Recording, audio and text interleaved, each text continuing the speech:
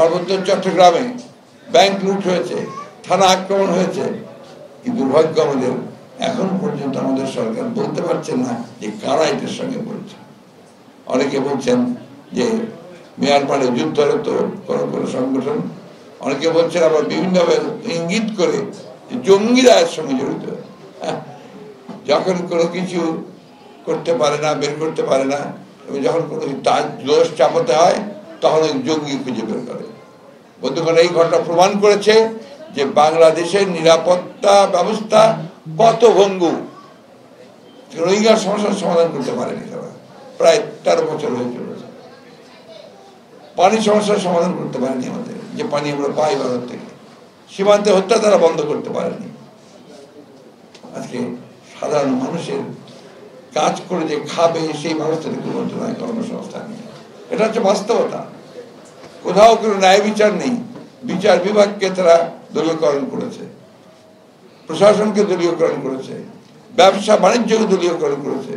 এই যে আমাদের মিডিয়ার ভাইরা এতজন দাঁড়িয়ে আছেন, তাদেরকে পর্যন্ত তারা কাজ করতে দেয় না, সেই স্বাধীনতা দেয়। বন্ধুগণ, আমরা বহুবার বক্তৃতা করেছি, বক্তব্য রেখেছি, আর বলতে চাই না। এখন আমি বিশেষ করে তরুণ যুবকদেরকে বলব, আর কতকাল তোমরা পড়ে পড়ে মার খাবে?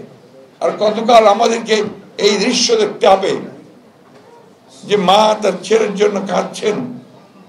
ছোট্ট শিশু তার বাবাকে দেখতে চায়, খুঁজতে চায়, পেতে চায় কাছে। আমরা তো ওই অবস্থার জন্য আজকে আমাদেরকে, তরুণদেরকে, যুবকদেরকে বেরিয়ে আসতে। আমরা অতীতে এখানে দেখে দেখছেন আমাদের বীর মুক্তিযোদ্ধা হাফিজুদ্দিন আমাদের বীর বিক্রম সাহেব উপস্থিত আছেন। তিনি ফুটবল খেলতেন পাকিস্তানে আমাদের। আর্মির একজন অফিসার ছিলেন। কিন্তু যেই যুদ্ধের ডাক এসেছে, স্বাধীনতার ঘোষক শহীদ জিয়া রহমানের হাত থেকে, সেই মুহূর্তে কিন্তু তিনি যুদ্ধে ঝাঁপিয়ে পড়েছেন, যুদ্ধ করেছেন। আপনারা জানেন যে জেট ফোর্সের প্রেসিডেন্ট জিয়া রহমানের সঙ্গে সঙ্গে একই সঙ্গে যুদ্ধ করে তিনি সিলেটকে মুক্ত করেছেন। এখানে অনেকেই আছেন যারা সরাসরি মুক্তিযুদ্ধের সঙ্গে আমরা তো এখন বয়স শেষ আমাদের। আমরা যাওয়ার পথে ওনার বয়স এখন প্রায় আশির কাছাকাছি। আমাদের বয়স পঁচাত্তর, ছিয়াত্তর, সাতাত্তর হয়ে গেছে। এখন তো আমাদের পক্ষে এই বয়সে আর রাস্তায় নেমে সংগ্রাম করা সম্ভব নয়।